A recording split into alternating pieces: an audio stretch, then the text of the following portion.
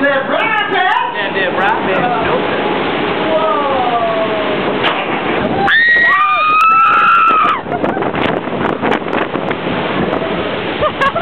That was so cool. I gotta do it again.